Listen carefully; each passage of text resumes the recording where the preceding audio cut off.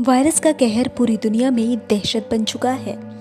बता दें कि 21 दिनों के लॉकडाउन के बीच प्रधानमंत्री नरेंद्र मोदी ने 5 अप्रैल को घरों की लाइट बंद करके दिया मोमबत्ती जलाने की अपील की है।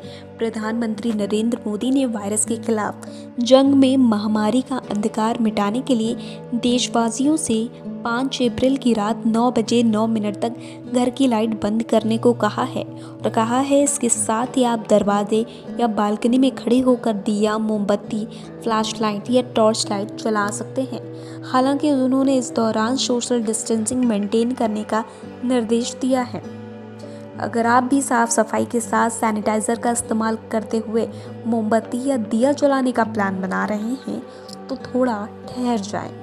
दरअसल सैनिटाइजर का इस्तेमाल करने से पहले सतर्क रहें। प्लास्टिंग एवं कॉस्मेटिक सर्जरी विभाग के अध्यक्ष का कहना है कि हैंड सैनिटाइज़र काफ़ी ज़रूरी होता है, लेकिन इसके उत्पाद में अल्कोहल की काफ़ी अधिक मात्रा होती है और कुछ मामलों में ये 62 परसेंट तक होता है। इससे सैनिटाइज़र अत्यधिक ज्वलनशील बन जाता है और इससे किसी के भी झुलसने का खतरा हो सकता है। आपको बता दें कि भारतीय सेना ने भी एक एडवाइजरी को जारी किया है। दरअसल अपने आधिकारिक ट्विटर हैंडल से इंडियन आर्मी ने कहा कि 5 अप्रैल को रात 9 बजे जब वायरस के खिलाफ जंग में एकजुटता दिखाने के लिए दिया या मोमबत्ती चलाएँ तो हमें इसमें थोड़ी सावधानी बरतनी होगी।